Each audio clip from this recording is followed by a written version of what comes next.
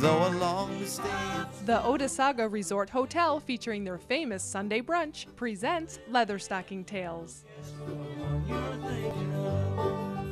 We visit Borderbrook Farm in the rolling hills just outside of Cooperstown. Here we meet Linda Hotchkiss and her family of border collies.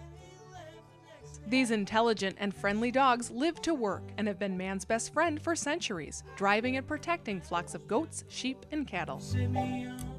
In 1873, so the story goes, the two Welsh shepherds got together and said, My dog can gather better than your dog. And my, the other one said, My dog can fetch better than your dog. So that's how the competition started. And it's basically stayed the same. We have fetching, gathering, penning, shedding.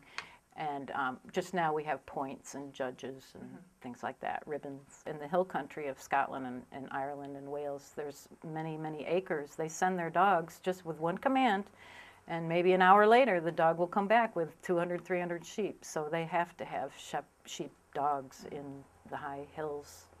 So um, and we still need them here in the united states of course with lots of things we do.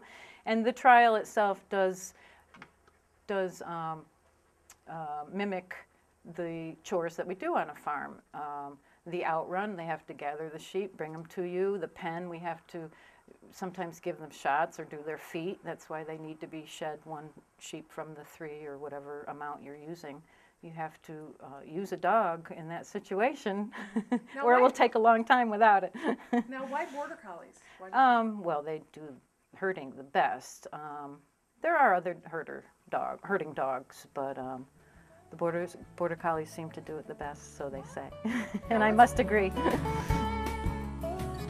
You can attend the 14th annual Leatherstocking Sheepdog Trials next Friday, Saturday, and Sunday on Beaver Meadow Road, south of Cooperstown. Visit our website for more information and directions.